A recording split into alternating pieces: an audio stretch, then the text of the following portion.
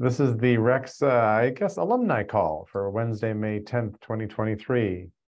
Um, welcome. Good to see you. Hello, hello. There we go. The transcript as well. Um, we were just doing weather talk, Brad, because Yeah. weather weather's acting strange and it's finally pretty here in Portland, but it's going to turn over 90 in a couple days. So there we go. Seriously? Yeah. Wow. I don't know how, for Southern how long. but- California uh, survived all of its rain, so you know we're good. We'll uh, we'll see what happens when the uh, uh, uh, snow starts melting. Um, yeah, yeah, no kidding. Is that No big lake going to restart in the center of the state? It We'll could. It could. Yeah, I um, uh, daddy daughter camping group that I was a part of when my girls were in elementary school. Now they're thirteen and fourteen. Um, but a bunch of those thirteen year olds are going on a whitewater rafting trip. And originally they had booked a class two, and then it got bumped up to a class three, and now it's a half a day with a class four, um, just because of the runoff. So That's Very really interesting. Yeah, that's going to be uh, good. Good for rafting excursions. yeah, Um, there was I've a- never I've never done whitewater rafting. What does the class differentiation indicate? I how many, think how many lives it's- are lost on the trip? It's yeah, yeah, it's either that or the velocity of your ejection um, from the raft upon, upon hitting uh, boulders and uh, and or subterfuge. Yeah. um, Politico just published uh, this article about it's kind of a build on the really big one, uh, which was uh, a New Yorker article back in 2015. Basically, the New Yorker publishes this huge article about the Cascadia Fault right after we moved to Portland. Um, we're like, Perfect. hey, that's a nice welcome gift.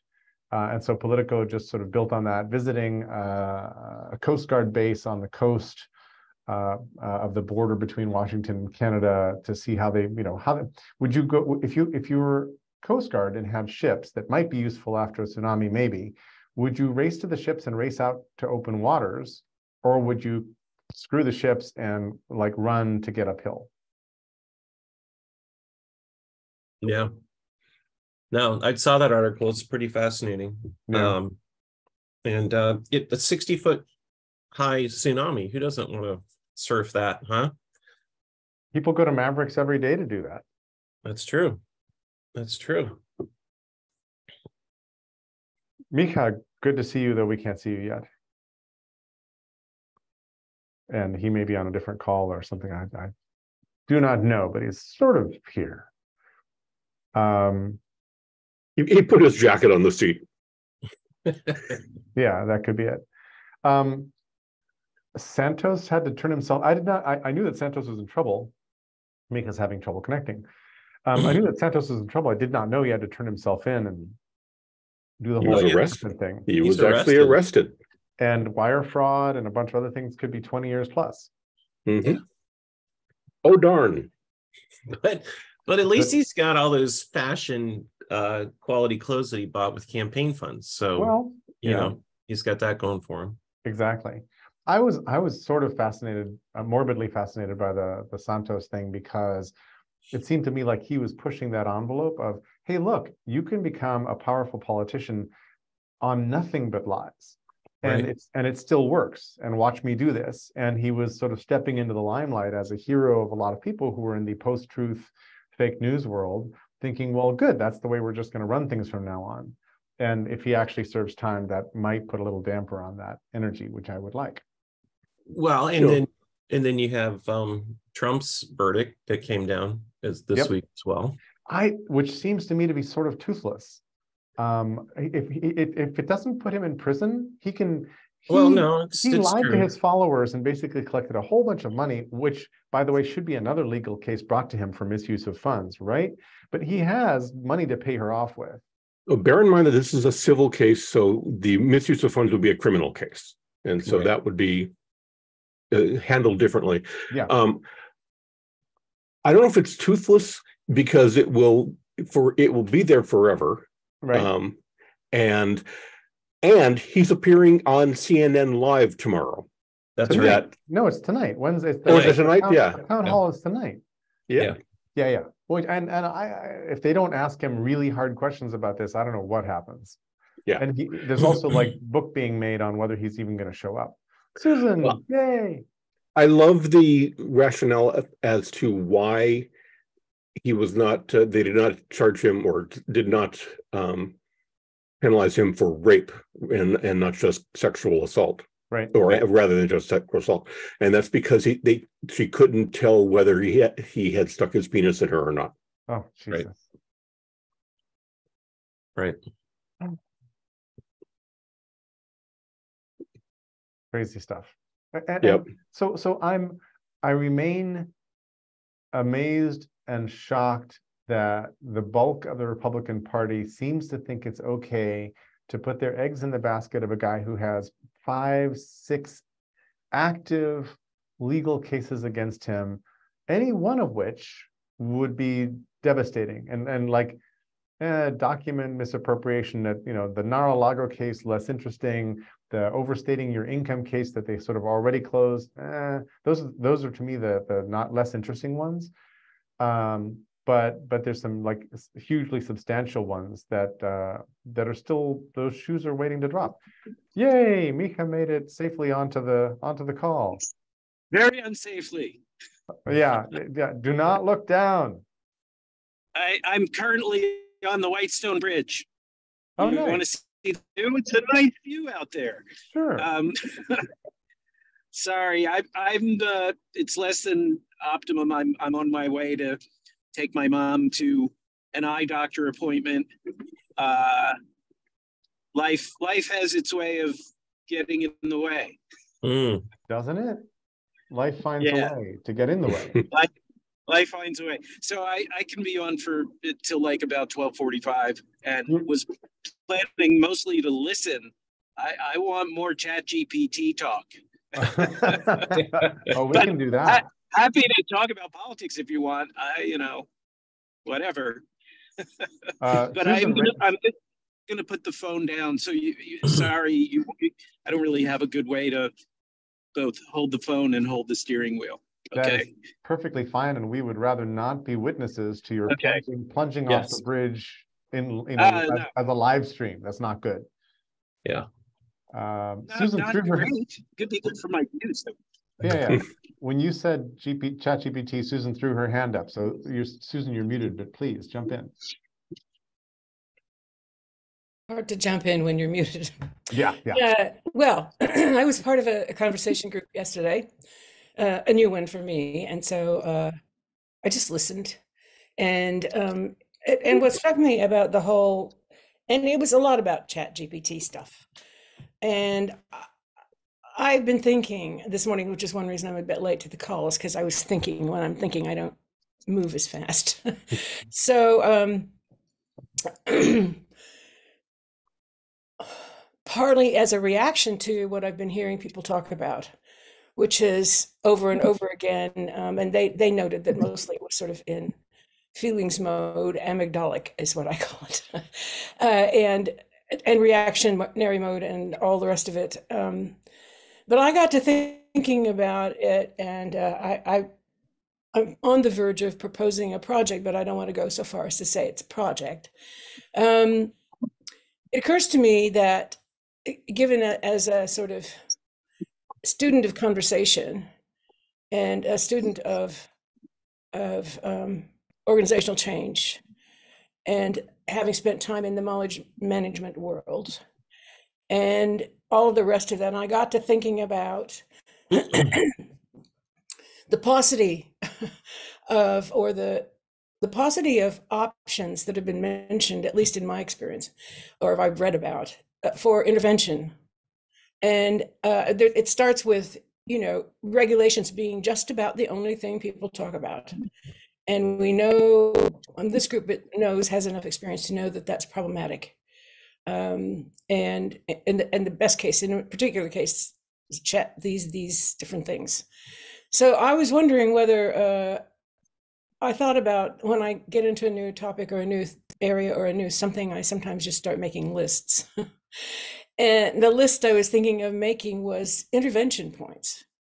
hmm uh, where in the process, where in an actual activity, where in the interaction, and that's where I would like to really focus because we don't focus enough on making the interaction the center of our analysis, which I think we could do in ways that we couldn't before, um, and making a list. And so, uh, just to see what people know and come up with on um, on a sort of a system two kind of thinking.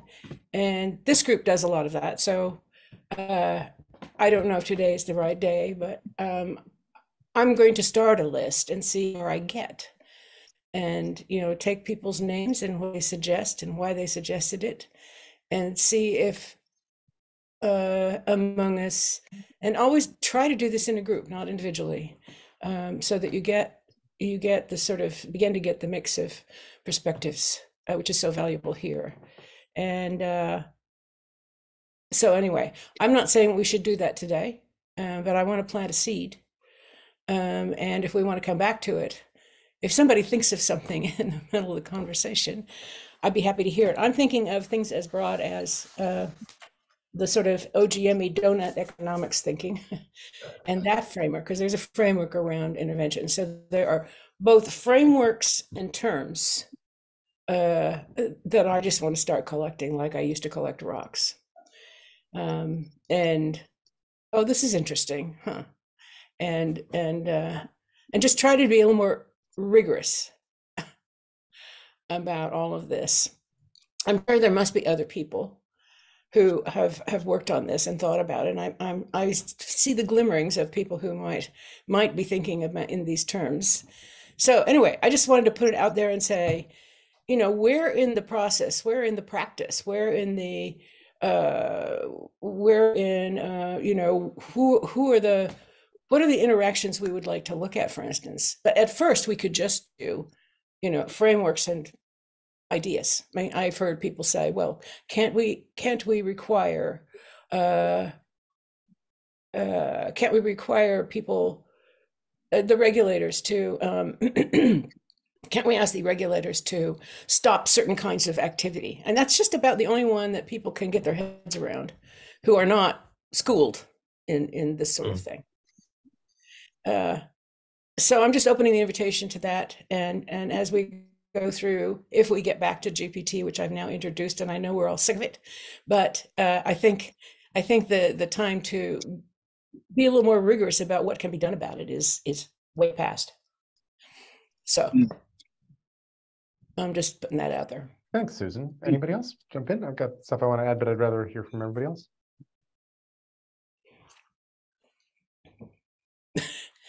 You might have to think about it for a while. I I certainly have, and it's not easy. Well, this is going to sound like I'm being uh, I'm being a smartass, but it's actually I'm actually serious about this. Power cords. Um, Hmm. One thing to remember about all of these these systems is that they run on electricity, and so it's Mhm. very hard for me to imagine a future where we are dominated by computers where we can't just pull the plug, and and that may be oversimplifying, but at the, at the same time, it's something that we tend to forget be, because we start to personify the AI.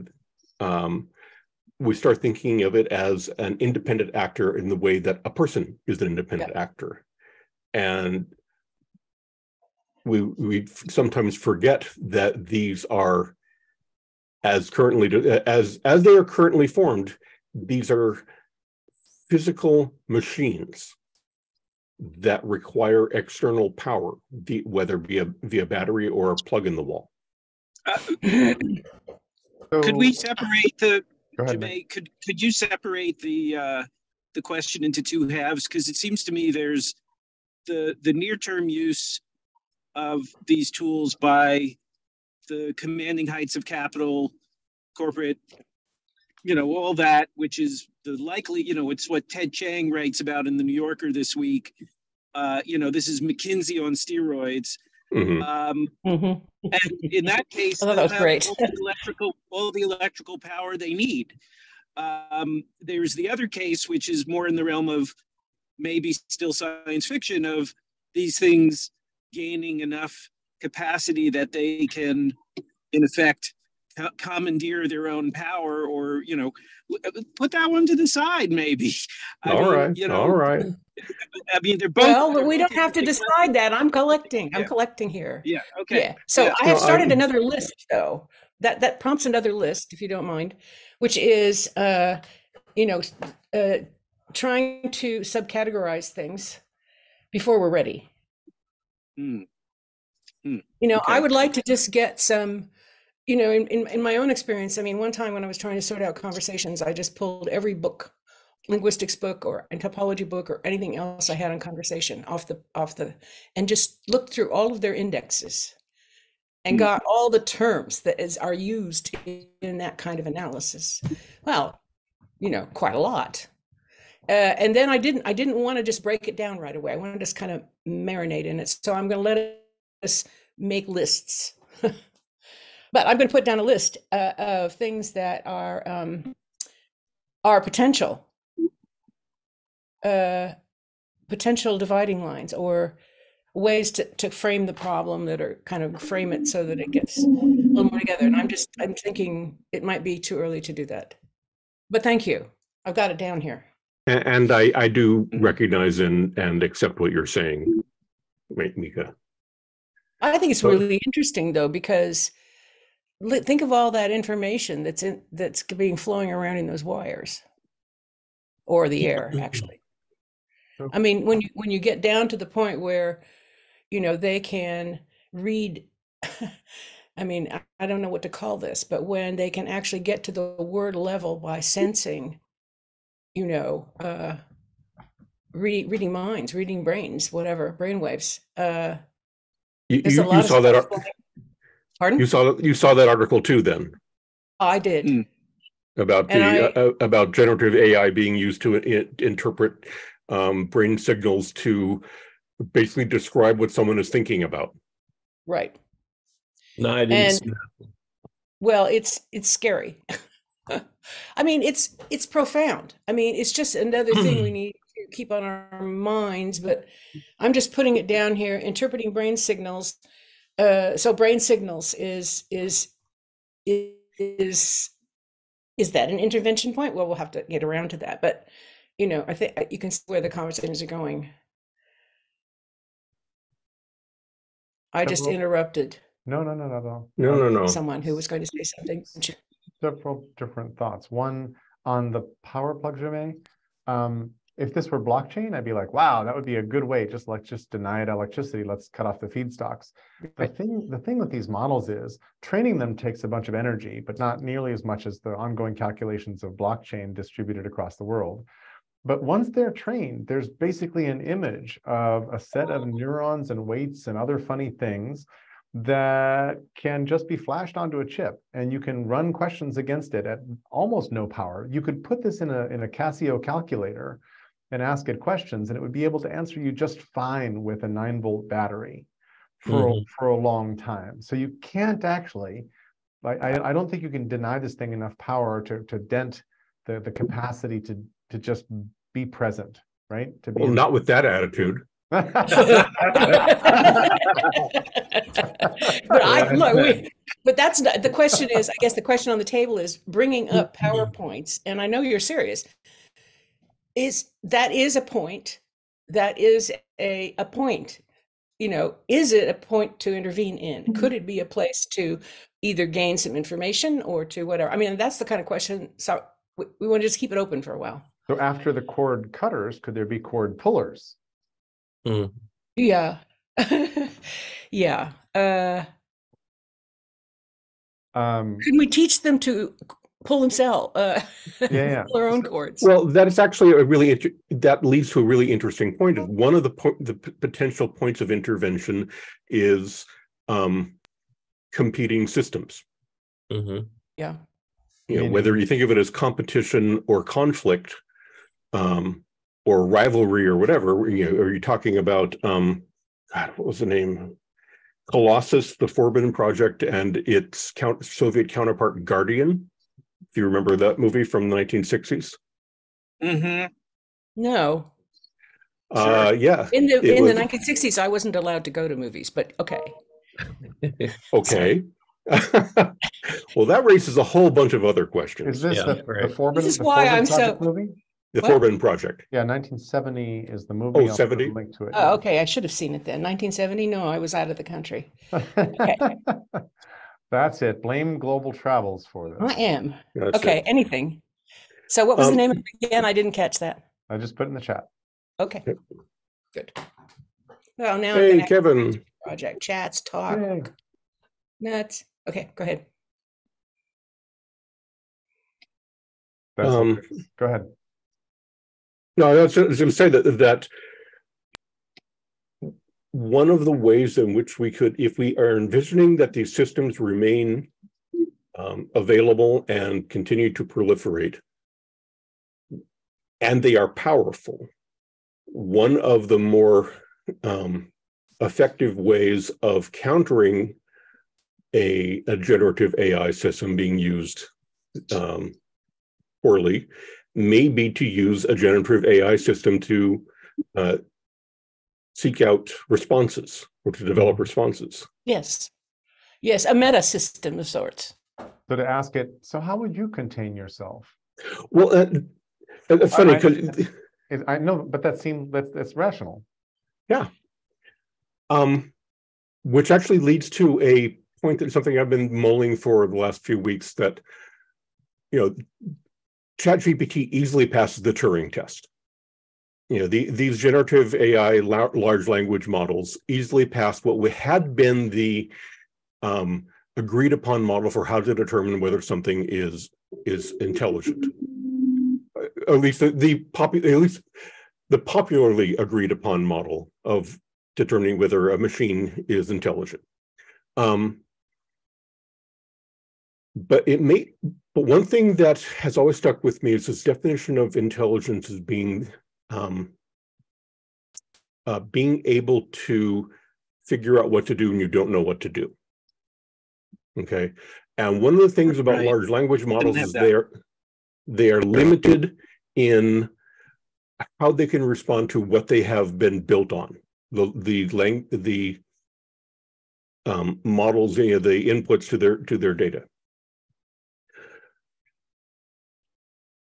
we have been able to get to go around restriction or people have been able to go around restrictions in chat gpt and, and other uh, large language models um, that have been that have been hard coded into them like you can't talk you can't talk about assassinating the president um, by you know basically coming up with clever wording to work your way around the hard coded rules Mhm. But the the way they work if you take a look at the text being used to work their way around the hard coded rules it's really obvious to a human mind what they're doing. It's really obvious that they're trying to evade the restrictions the language or the, the letter of the law. And it struck me that maybe one of the ways that one of the determining factors for whether or not a a, uh, a generative ai can be considered can be considered sentient or sapient is whether it can recognize when it, when someone is attempting to fool it and you know, and and not just simply because of hard coded rules but being able to to um Well, grasp That the would emer- suggest that those of us who can tell when the AI is fooling us that we're not sapient. Yeah. Sorry. well no i'm I, i'm not uh, essentially opposed to that argument um Go ahead, Kevin. I, I think this is another example of teaching to the test. Mm. That, but you which, know, which one is Well, the earlier models of things was, can it play chess? Can it play Go? Can it do it?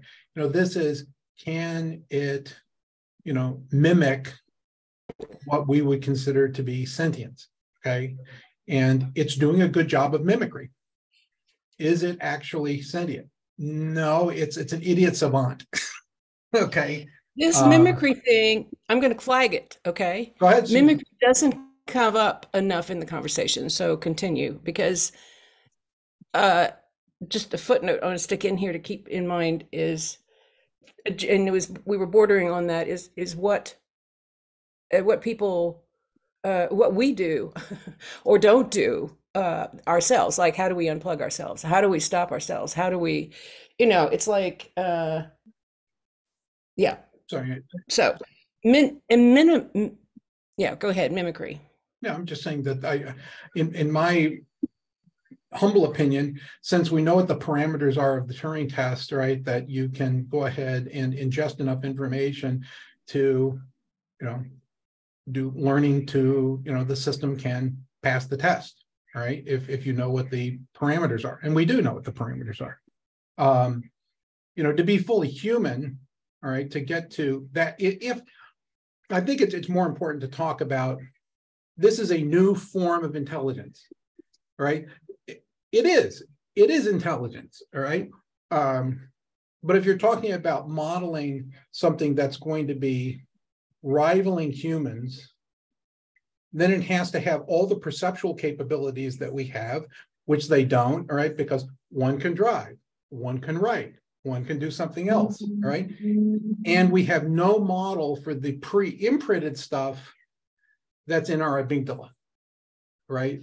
And, you know, all of the things that are flight, fight or flight are not present in these systems at the moment because they're not modeled. So I'll stop, okay? Oh, Okay, so that's on the limits of, okay, so do you have a point of intervention you'd like to suggest? uh, I entered the conversation not knowing that that was the purpose of the discussion, so I do not. Okay, we'll come back to that. That was, that was sort of how it started, yeah. Susan had proposed that sort of early conversation about uh, about uh, generative AI, which is like, where would we intervene? Um, and we haven't gone back and talked about that very much. I did post a link to Donella Meadows' 12 places to intervene, points of leverage in the system, which is the classic text on that. Um, it, it's really interesting how the Turing test seems to be the only test that people are coming up with for figuring stuff out about about generative AI. Mhm. Um, we, we don't have good measures. We don't have uh, uh, other good things going. New Um, and existing customers can ch- that's hilarious. That's all right. Um, and then another thing I wanted to point to was uh, several people, kind of at the fringes of the conversation, pointed to a, a 1975 conference at Asilomar, when recombinant DNA was just coming up, and a bunch of researchers got together and said, "Hey, this stuff could be really dangerous. We should self-regulate." And they came up with a declaration of principles Mhm. uh, for how to go about researching this relatively dangerous technology, which is interesting. So, so some people are saying uh, we should have. Uh, I don't think they've raised the Macy conferences, but uh, but it, but I one of our network friends, Paul Pangaro, has wanted to revital to re, you know revitalize the the Macy conferences again.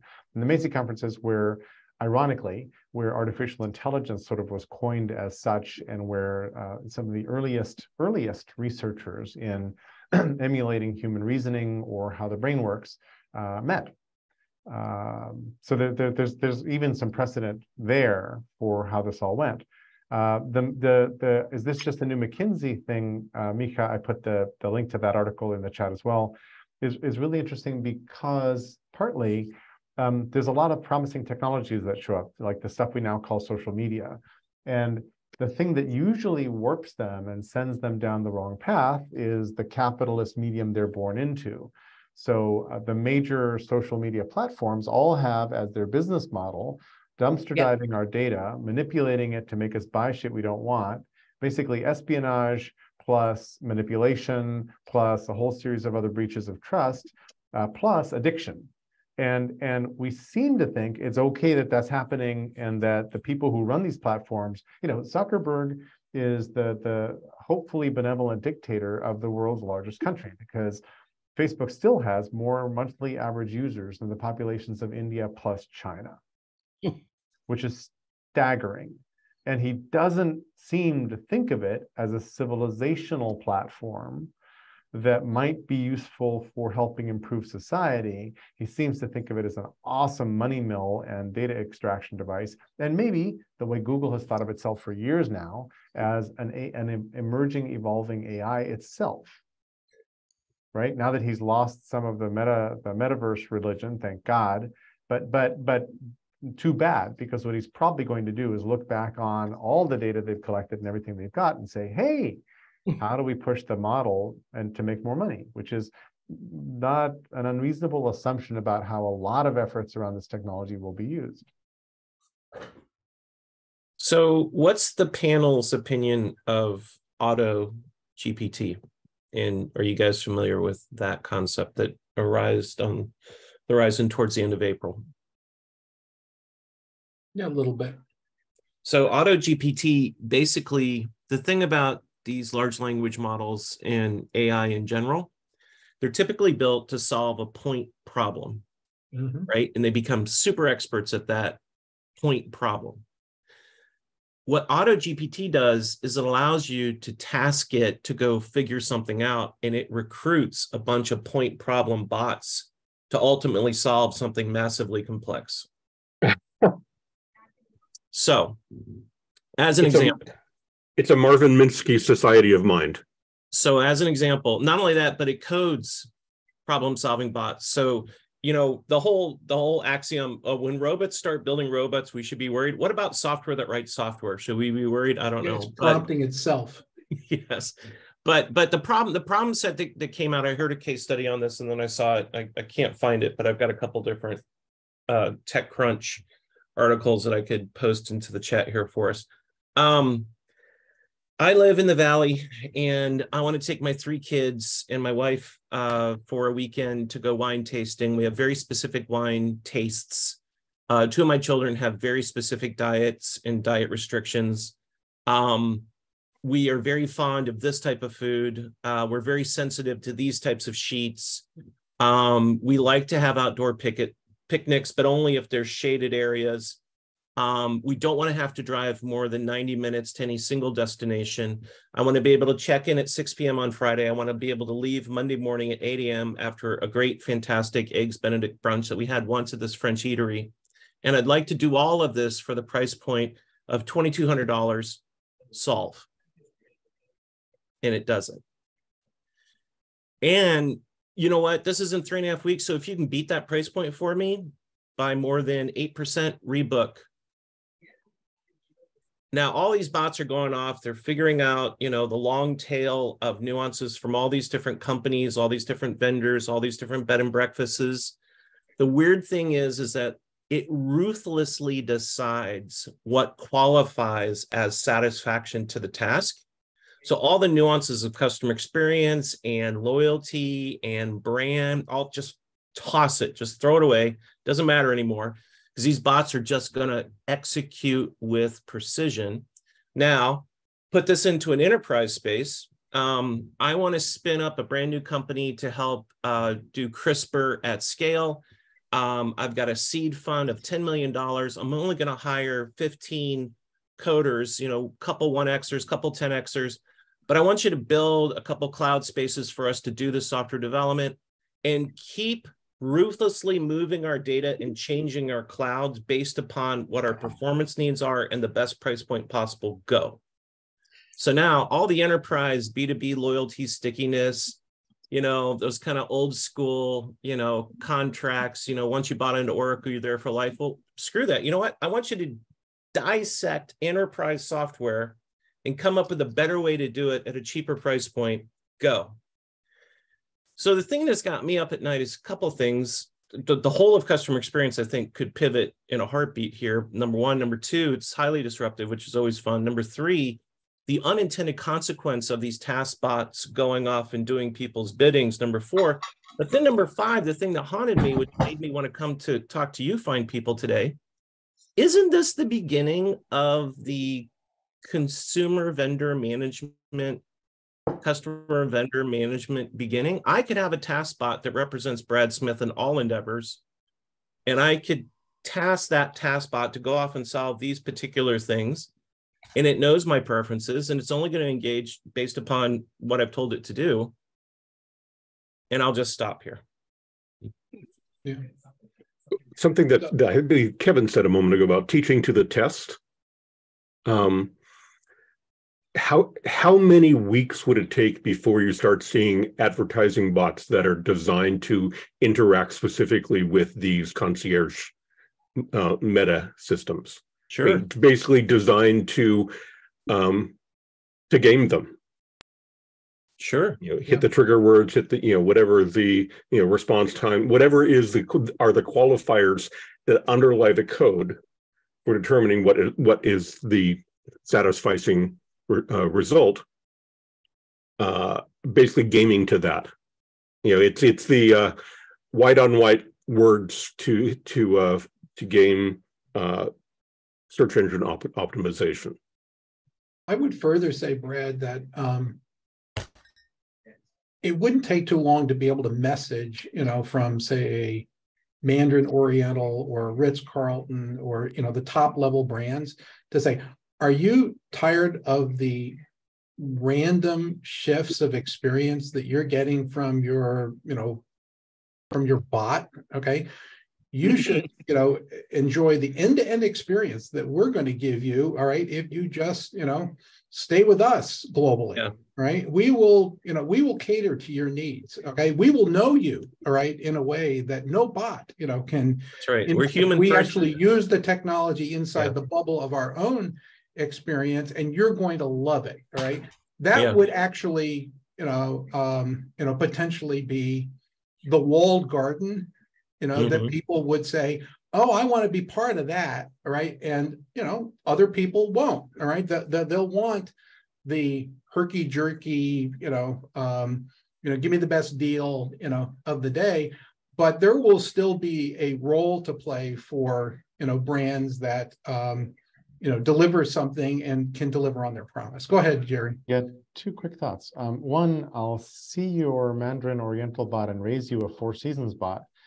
Um, sure in in in the sense of um I think what you were proposing was a bot that would manage your experience so that you always want to stay at, at Mandarin Oriental properties, which is interesting. Yeah, not total Mhm. landscaping, Jimmy. That is a much higher value property.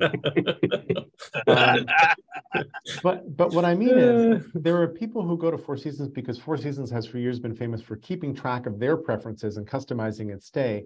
But but but imagine your whole world, including your home, being managed as if it were a Four Seasons experience, and that the Mhm. bot isn't managing your time on property and trying to lure you to stay at the property, but it's buying you sheets for your house. It's treating you with, uh, it's got a butler service that takes over your Google Assistant or whatever else it is that you're using. It basically curates your entire life as if you were always walking around in a Four Seasons property.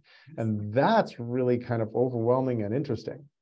I, Yeah. I think that's that's true. And the fact is, you know, the big difference between a Four Seasons and a Ritz Carlton is if you blindfold somebody and say, "Where are you at, at a Ritz Carlton?"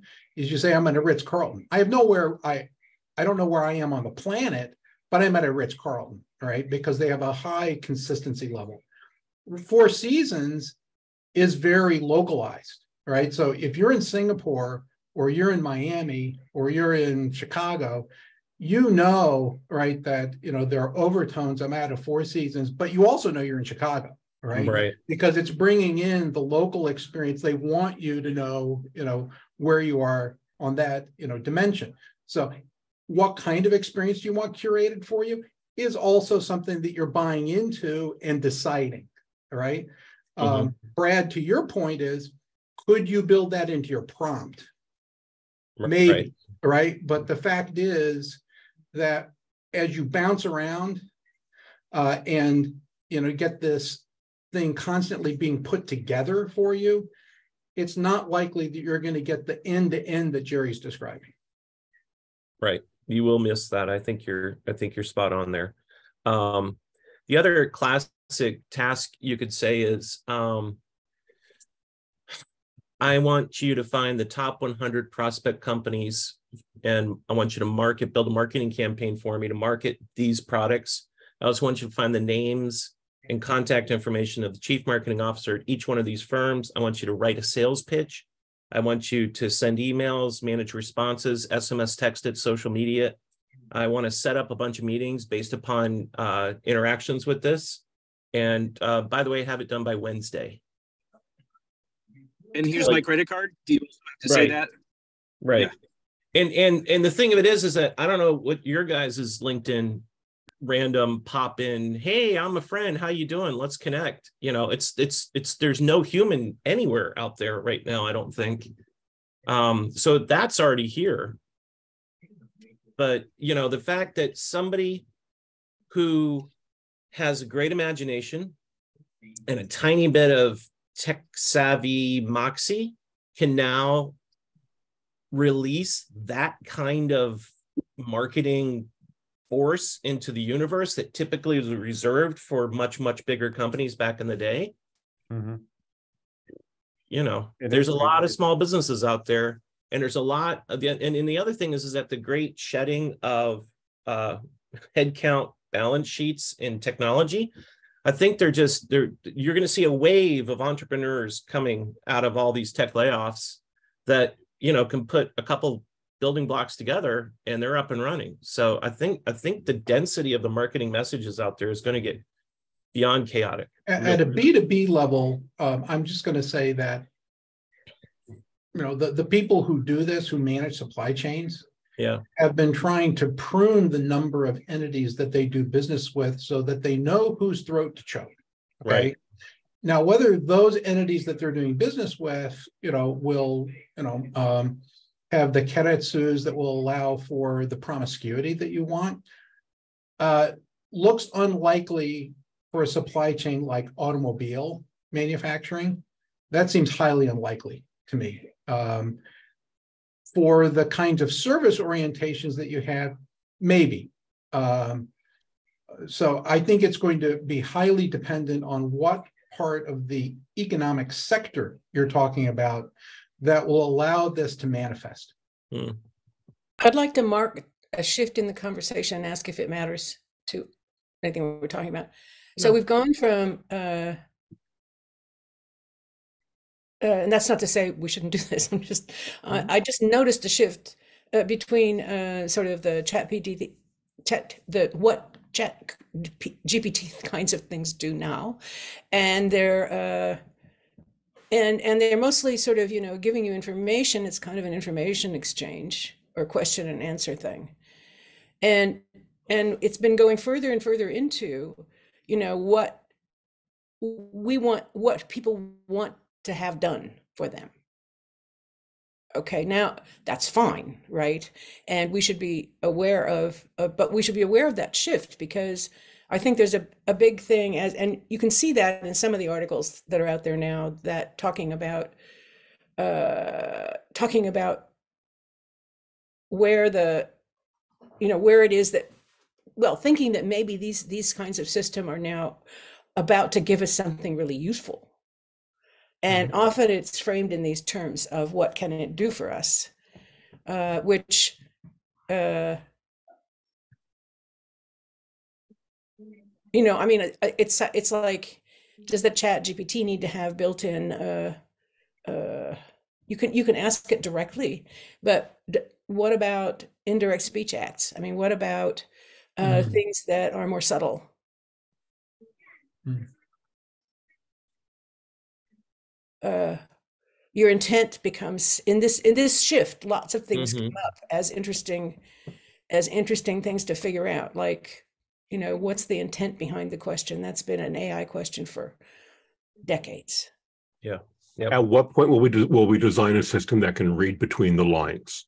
yes we, Yeah. there we go. I- I- So in some strange way, that's what these systems are doing right this second, is that they're, they're, they're being trained up to get a map of roughly what's going on, and they're busy interpolating and reading between the lines like crazy, and using that to generate new text, et cetera, et cetera. It's interesting. I wanted to go back a little bit to Brad's scenario, which I vastly agree with, uh, and is super interesting because one of the things I'm trying to figure out is how to get my brain into the, oh, I need to attach these superpowers to my fingertips and extend my capacity like crazy by setting these things up to go do things. And you said, I'd like you to have this all done by Wednesday. Uh, it could all be executed within the hour. Uh, There's, there's, Yeah, there's, absolutely. Yeah. there's no, there's no reason, there's no reason to think about that as if you were tasking a human and thinking Right. about human hours to do it, because this thing will just go execute on, on each of the little steps that you wanted. And, and the, the pauses that you will want in the process are pauses so that the people you're trying to solicit um, won't think that it's a bot, will think, oh, it must be a human. So you'll be like, so wait a random amount of time before you send off the reply or the pro- or the probe or whatever, who knows?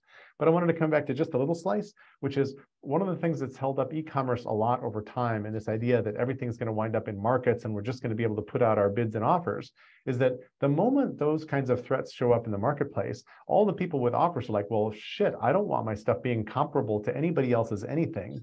So they hide the data, they make it incomparable by messing with the warranty terms, the what, whatever it is you can do to make it hard to compare your product with others is good because it hides it hides you from the comparison engines and from being basically competed out of the market by the, the efficiency function you were proposing uh, Yep. to come in. And I defy anybody to go to Comcast's website and figure out what actually Comcast service costs.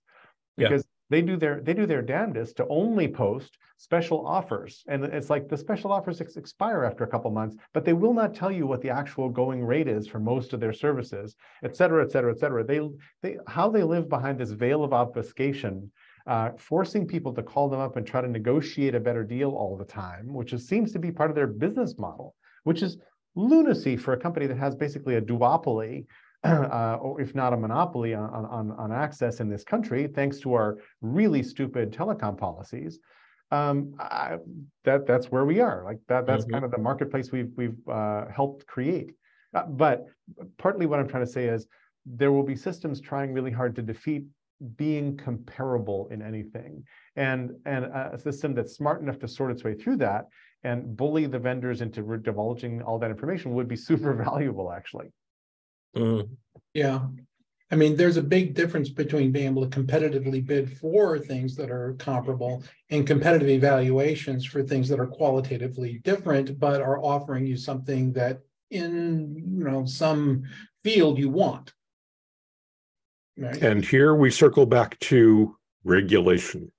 Yes. regulation Because, yeah, I don't know if you saw, there's a bill that's just been put uh, in front of the California Assem- State Assembly that would um, formalize and regularize the language used on for expiration on cans for food products, whether it's, so no longer can it be best enjoyed by versus sell by, it's, uh, it's either used by or um, or used before or used used by versus um, best when used by. So is it, is it something that you have to throw away at, at one point, or is it something that will degrade over time?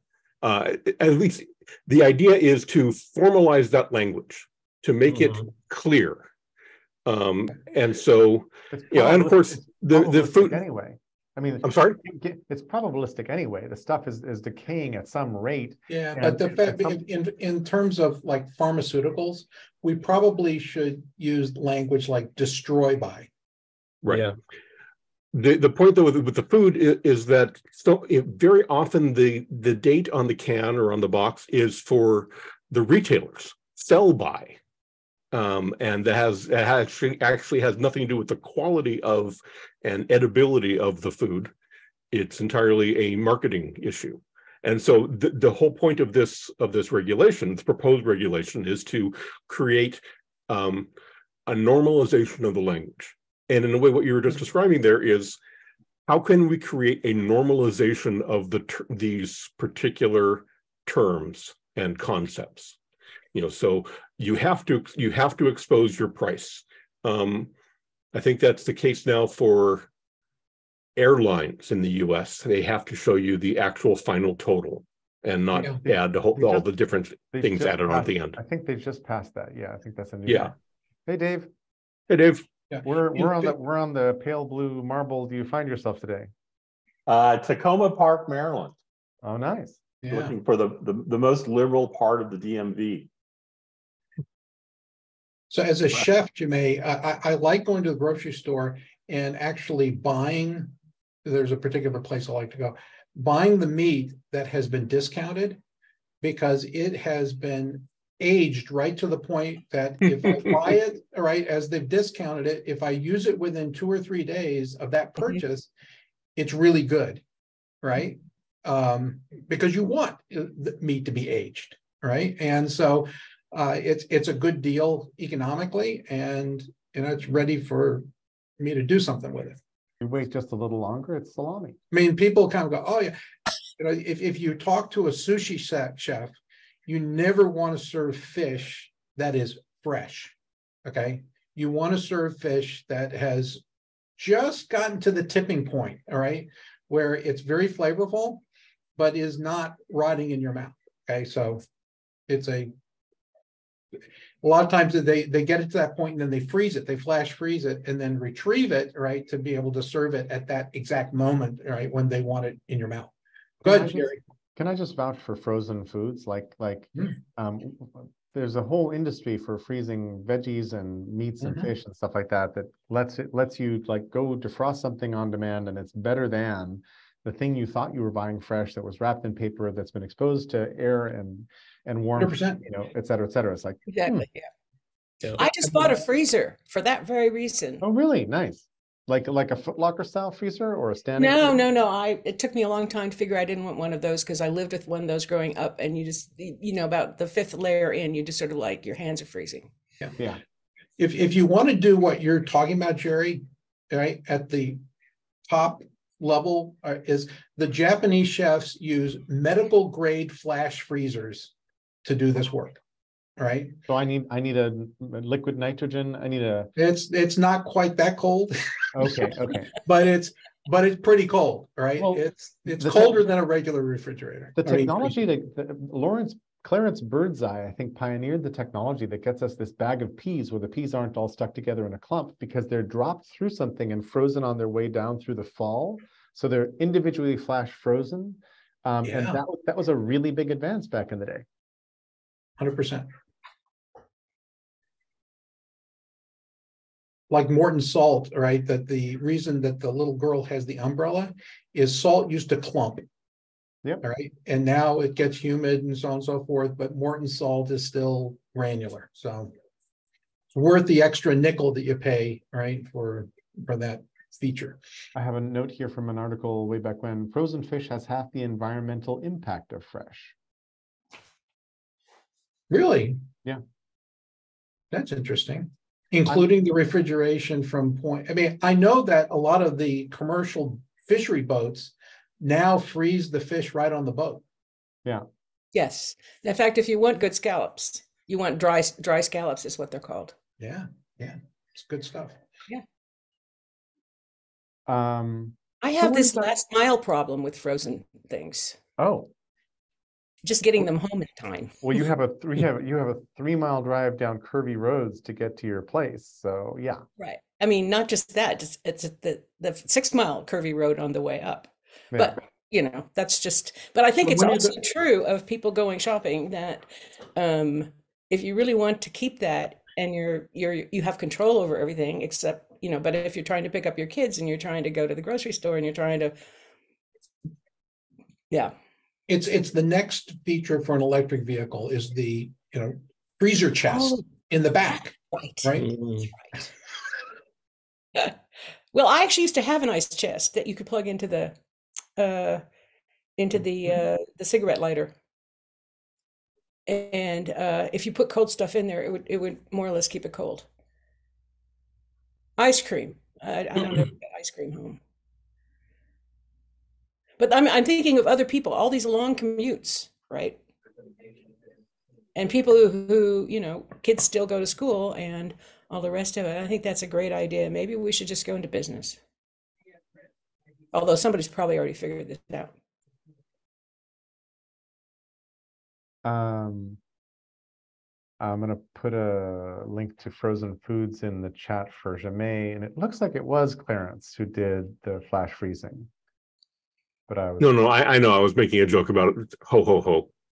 ah, What is- was it actually the green, the green giant that did it? Uh, so where does this leave us on GPT and uh, generative AI? My guess it wasn't peas, it was berries. Entirely possible.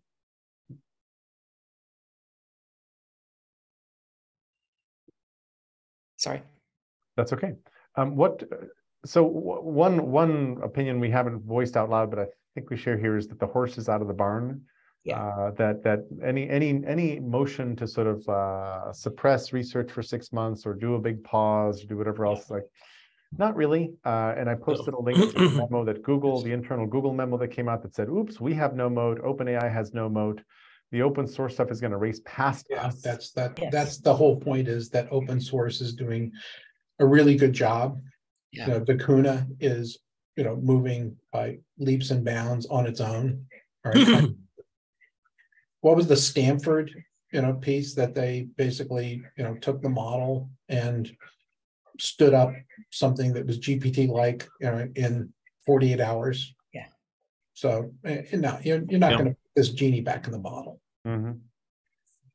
But nobody's, that, that's where the regulation question comes in. I mean, who's, who's thinking beyond, you know, instead of just stopping it? And I mean, regulation is, is always post, I mean, has been traditionally before going to get around to it. It's a long time before regulation actually happens because it's a social process. And a lot of the people who do it don't understand regulation, but they don't understand, you know, what you're regulating and blah, blah, blah. Yeah, I mean, look, it's been, tra- here's the, here's the, the point. It's only been trained on what's available and can be scraped on the World Wide Web, which represents less than ten percent of human knowledge. All right, so, you know, the, the other goodies that it needs to know um, are behind paywalls and firewalls and are in skips. So it's, it's not smart enough, right, to outsmart all, the to do all the things that, you know, we need done because it hasn't been trained on it yet.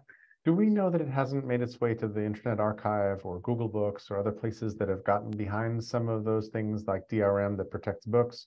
Because I have a funny feeling that large library of books is actually in the training set, Well, but I don't, Yeah. but I don't know. I'm sure it is. So that, what would that add? Two percent?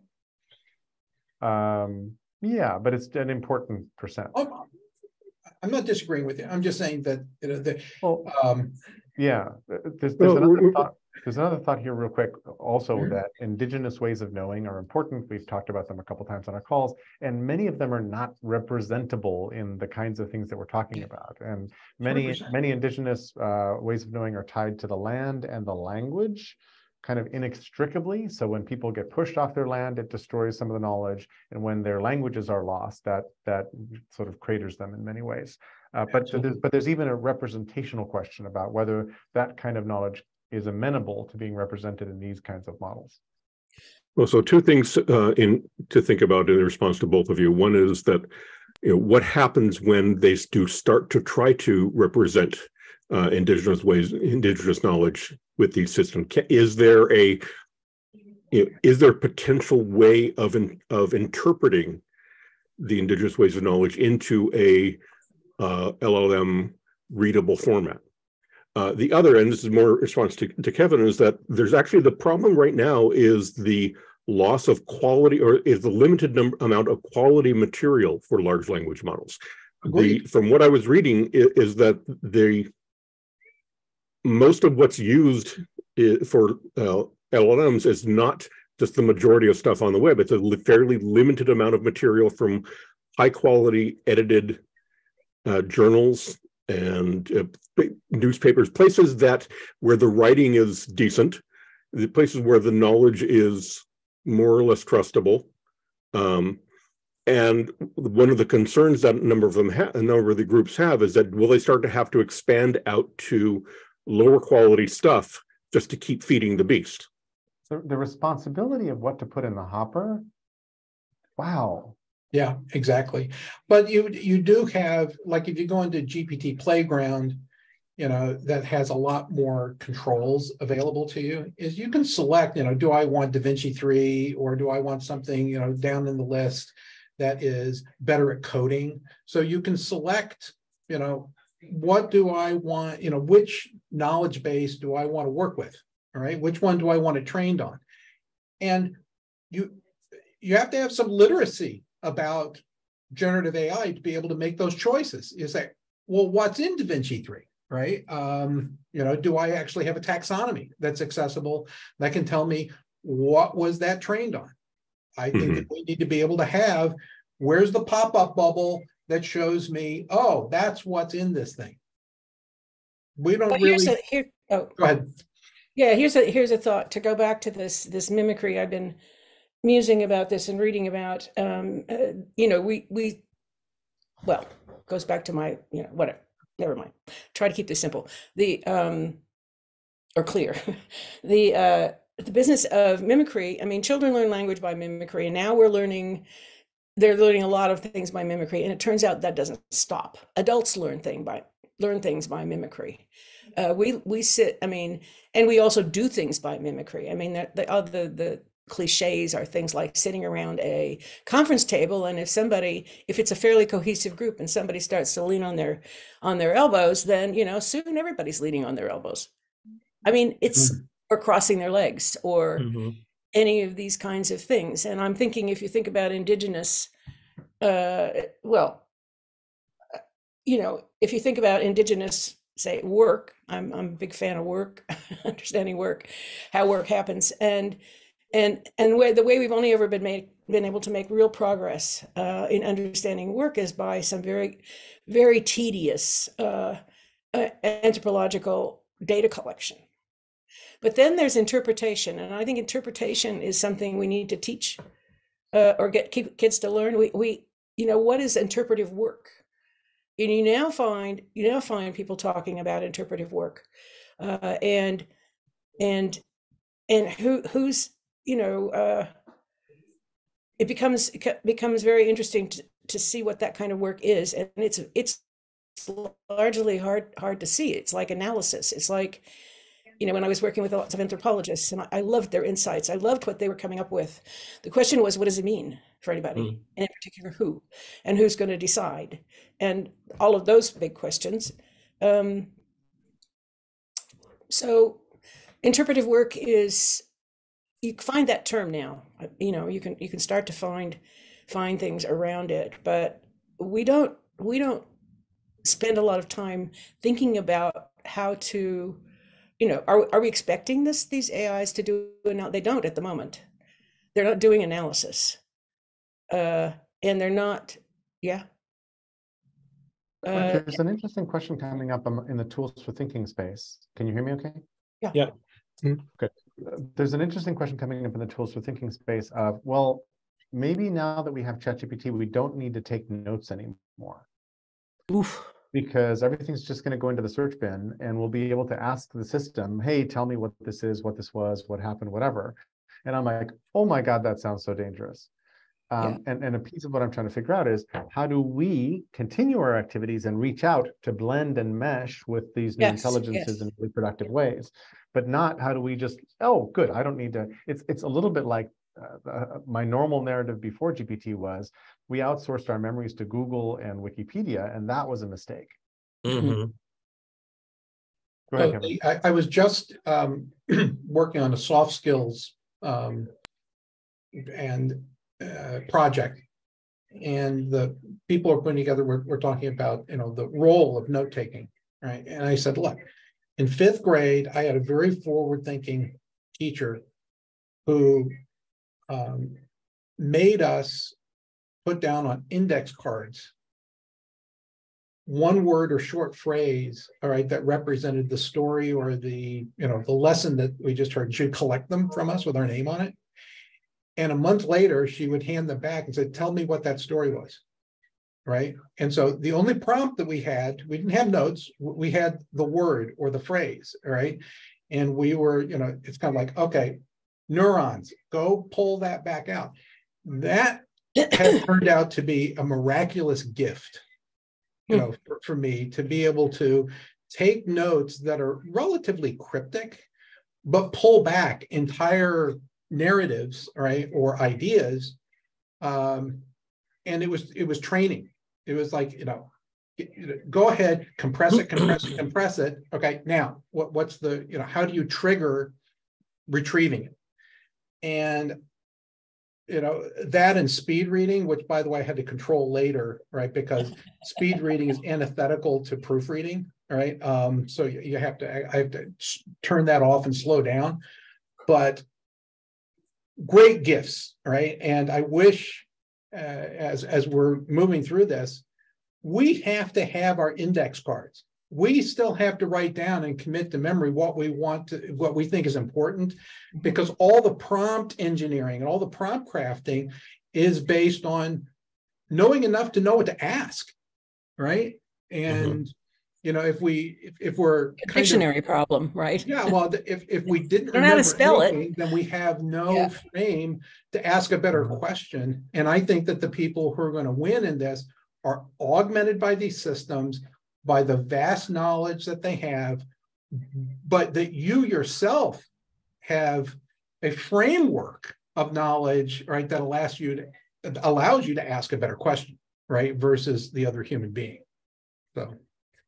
Well, I'd love to, to push, I mean, it just takes, take the conversation back three steps again, but the, but this Mhm. notion, Kevin, of who's gonna win, right, is the, is the part that worries me a little bit. And it's like, you know, is the, is it a winner take all game? And, and that No, to I'm me. not, I didn't mean to put it in winter language. No, no, I know, no, no, but I mean, but that, that's the one I was just taking the question back to that uh, governance issue around the AIs. And, and what do we do? I mean, I feel like in some sense, the technology has created a new set of problems around governance of large scale infrastructure, Mhm. right? Mhm. And we don't have an answer to that yet. And it seems to me the notion that it's going to be government, right? Our traditional government doing this, maybe, maybe not. They don't seem to be all that good at managing this kind of infrastructure. You know, do we really want to re- replicate the highway departments in all the states? I don't, I don't think so. You know, we need a different mod- modality. And I'm kind of curious. The only one I can think of is the Linux Foundation. And this, and I would love to know if, if anybody knows how the Linux Foundation does decision making.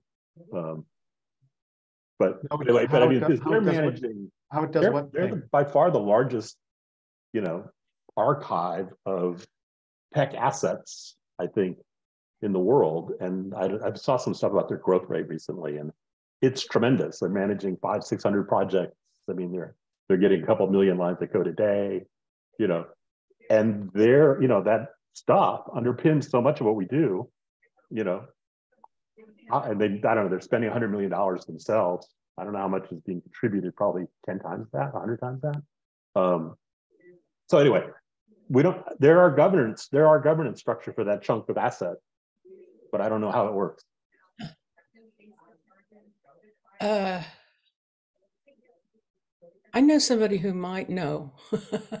I guess I feel like, you know, like when we're looking for models to how do you govern AI, we should look at Lin- Linux Foundation. I mean, O- OpenAI had some weird structure right around your investment and return on your investment and things like that too, right? But I don't know how that works either.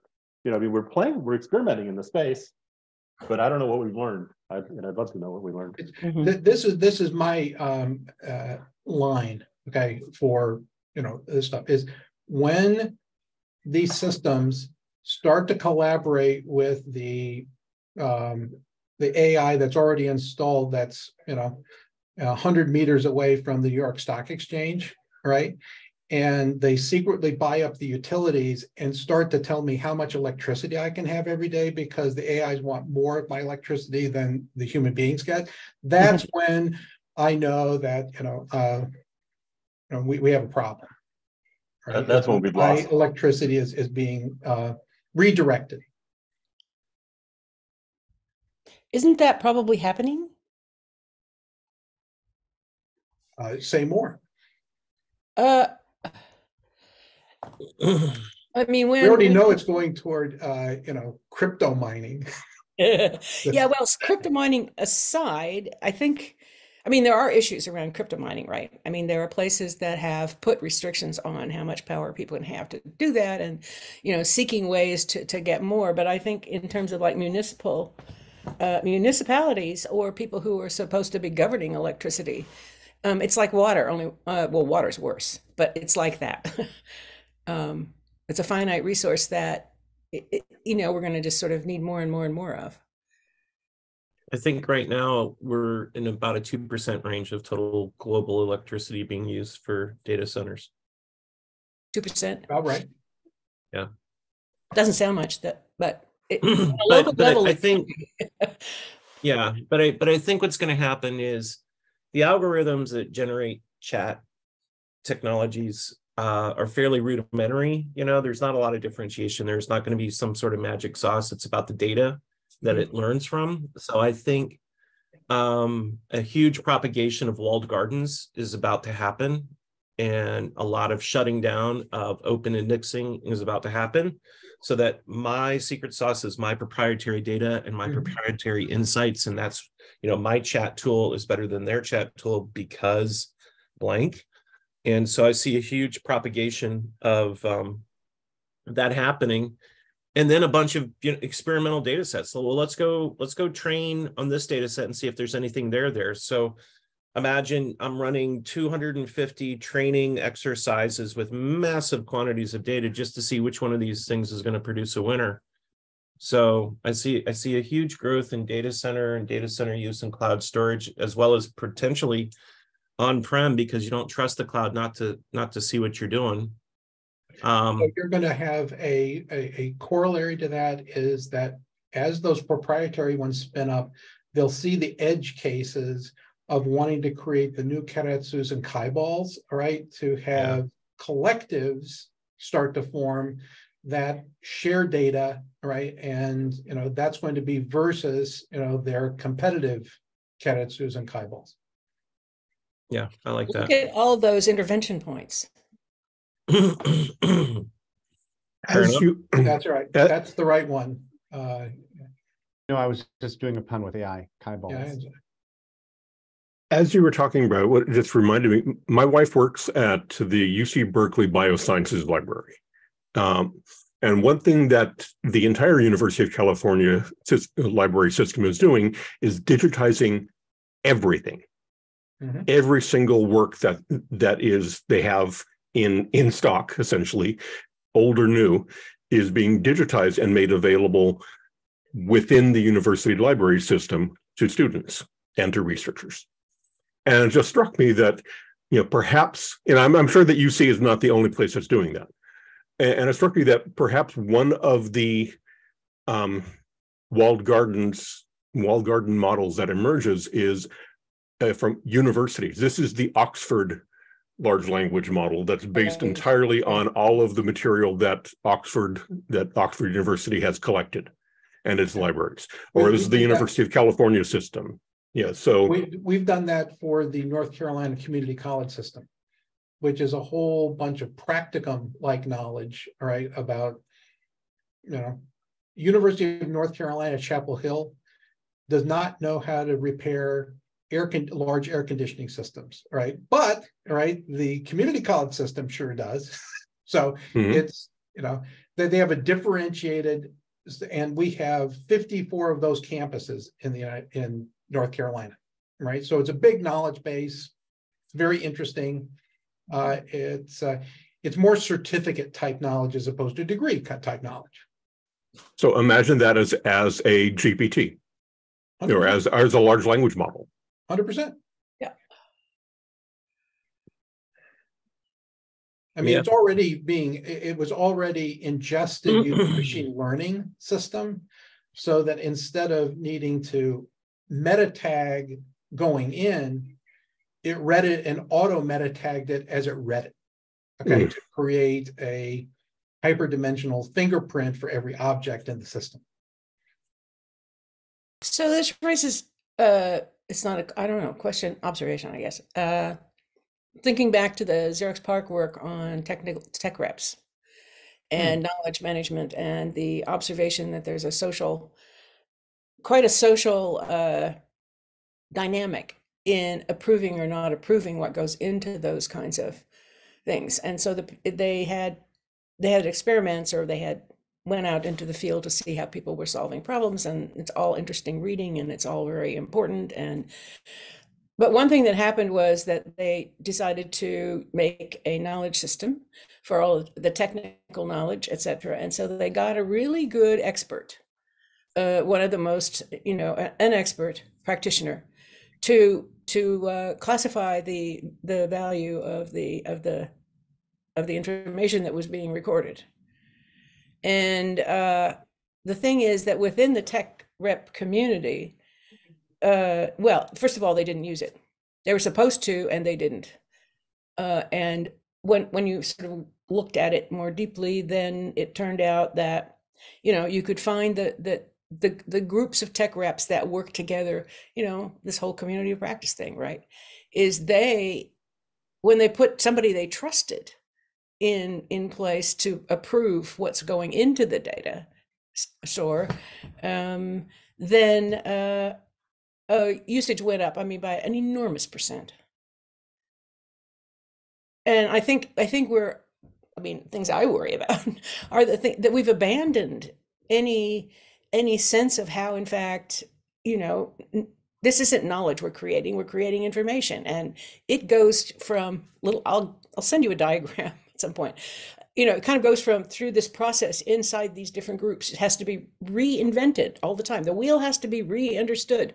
You know, it's like all the things that as you get older and you realize, oh my God, we knew that, you know, 20 years ago, 30 years ago. How come these people don't know it?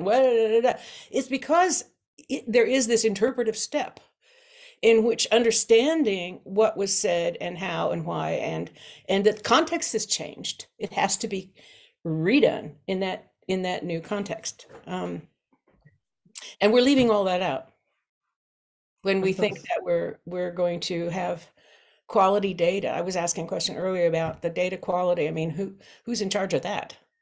And what where what constitutes you know, we've we've learned so much. I mean, if you go back to uh, oh, come on, Jerry, help me. Uh, the French guy, the French philosopher.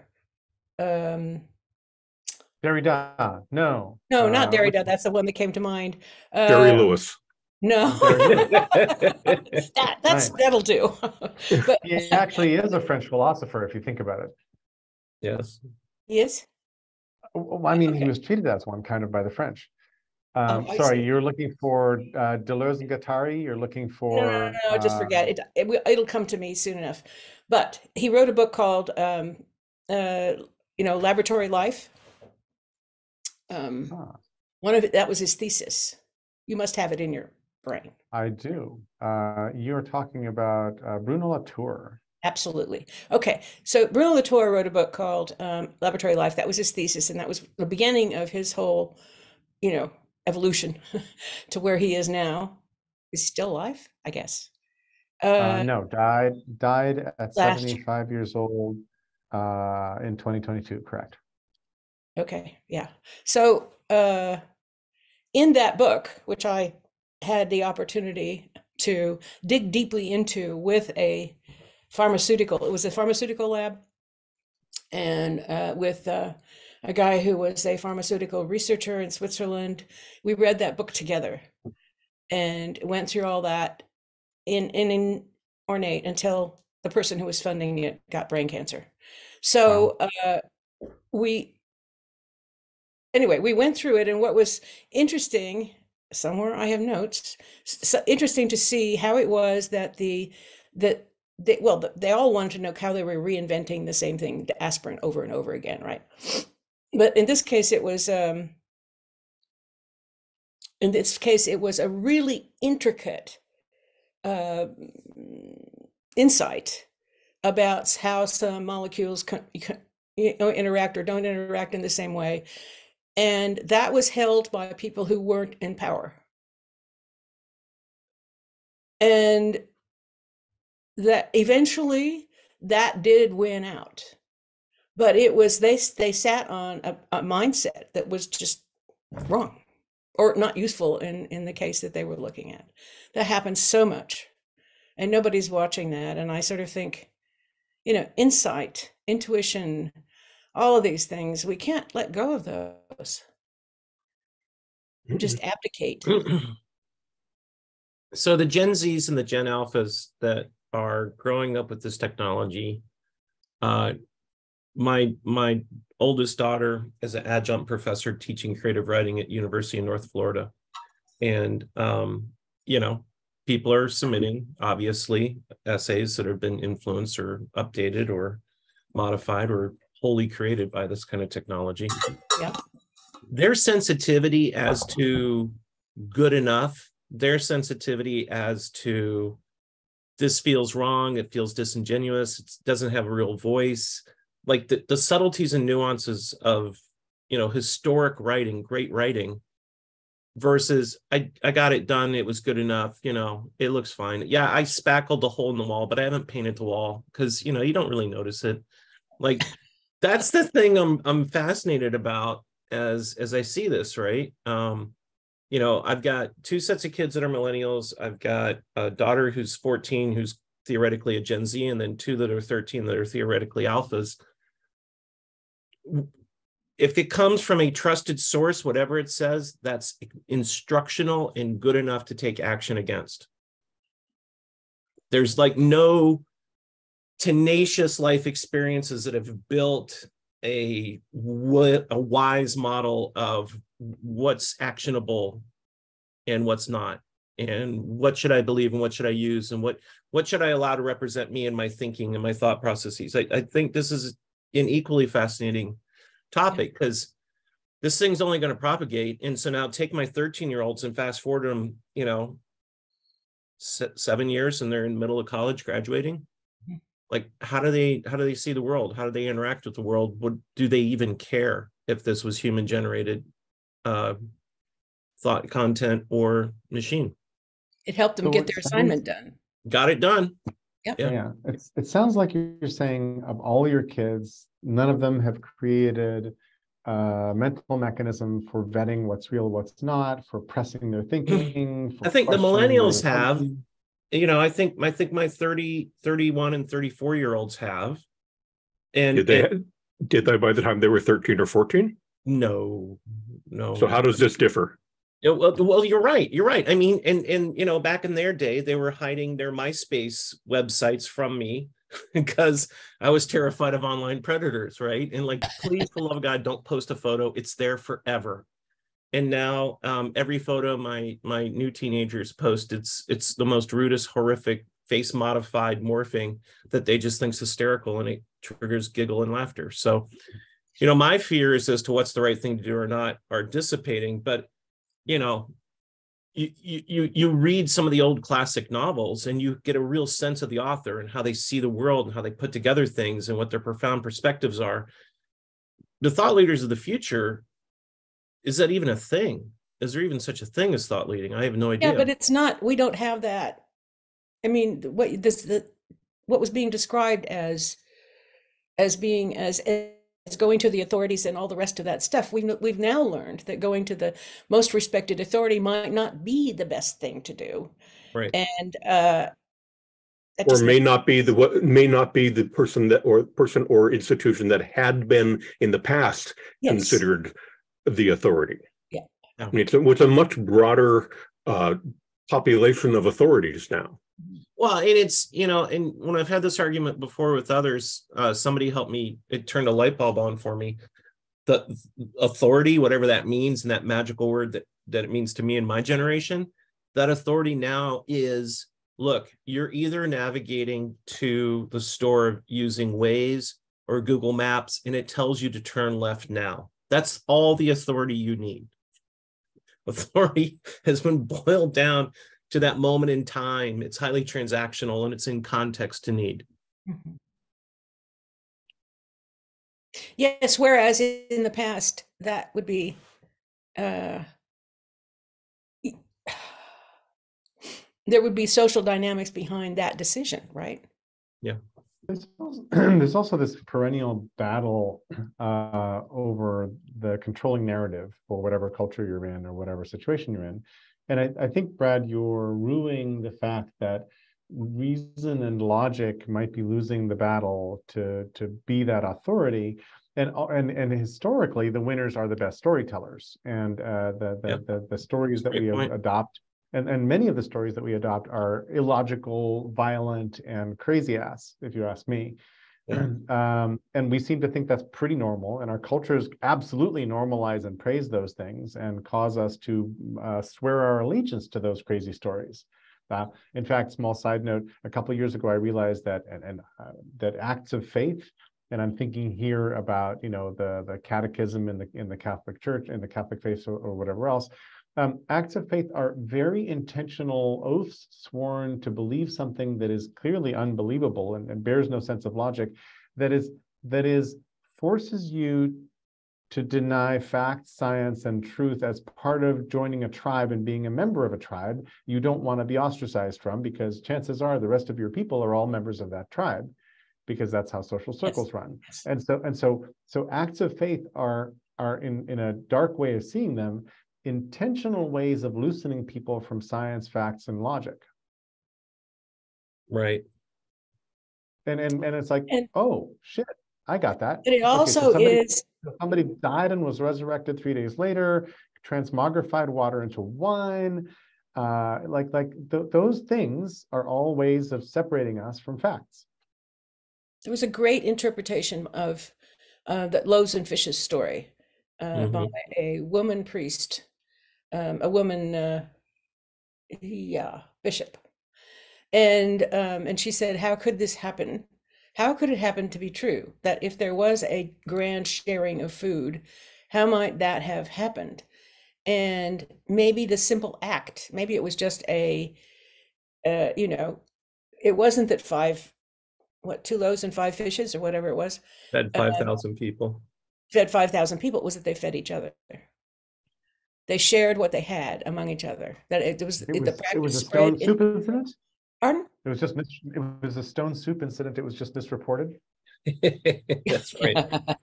yes Well, well, it was a to know. stone soup yeah i mean that's that's a parable but but to go back to you know some of our f- other favorite stories or things that were miracles they don't have to be miracles to be uh, Miraculous. miraculous yes Yeah. thank you lovely I'm glad we've solved all these things. Well, I was trying to stick in, I was like a conversation that, that this echoed from this weekend where um I was in a in my Sangha and, and we were discussing Buddhism. And I think Buddhism is so fascinating, right? Because you have several thousand years of people trying to convince other people of that you shouldn't need to convince other people, kind of. So it's a very funny kind of thing. But uh, one of the one of the you know very smart people in the group was talking about how he was so excited about modern physics and the relationship to Buddhism. And and I was struck by this, like it felt to me like he was saying there must be kind of a there's a truth between because they're tied, they're related to each other. Um, and I was like, really? They're just two metaphors that happen to happen at the same time. And and I just find it interesting to like, I don't know, maybe they're actually there's a truth underlying them, or maybe it just happens that these ideas become popular simultaneously, and then the fact that they reinforce each other probably makes them more influential.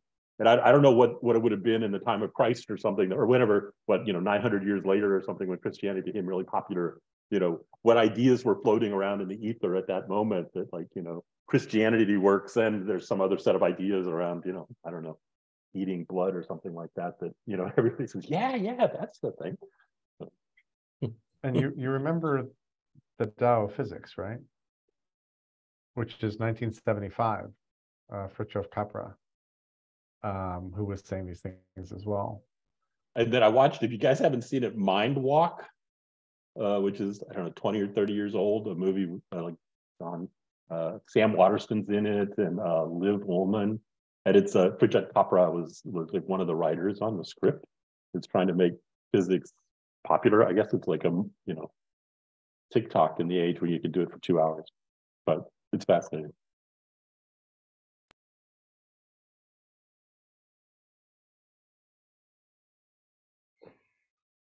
I think we have reached a gentle conclusion. I- For the day. like Yeah. You think we've hit peak generative AI?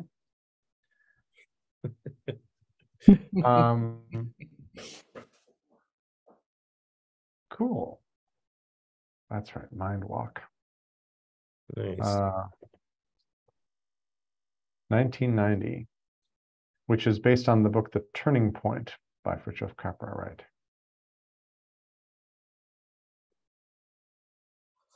right? Um, thanks, everybody. It was really um, fun and useful and interesting and scary.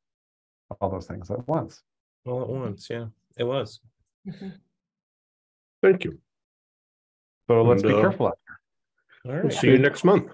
Hey, Sounds Susan, good. if you do have Thanks somebody, if you have Yeah. somebody you could explain Linux, uh, the Linux Foundation governance, I would really love to meet them. I don't, know if you, if you have a name, I'll reach out uh, to them or something. If there's, yeah I, I could, so I'm sure I could figure it out on my own, but I don't want them too late. So, so Dave, consider pinging Brian Behlendorf, who's Yeah, uh, I've pretty- talked to Brian a little bit about this stuff and I found Yeah. it a little hard to pull it out of him. Um, I've got lots of insights, but I mean, you know, somebody must understand the business model of Linux and I don't know. Like, Well, there's a woman named Libby Bishop, who's may, maybe retired by now. Everybody I know is retired. Uh, who did her thesis on Linux, and um, she was an economist. So there's must. uh, Let me just reach out. That would be great. Yeah, Thank maybe I can find her thesis. I'll look around. Libby Bishop. Yes, Elizabeth Bishop, Elizabeth. and she's currently, I think, in in England, although she's American. Thanks so much. Sweet. Let me know if you. Thanks, everyone. Oh, go ahead. All right. I'll report see back. you. All right. Thanks.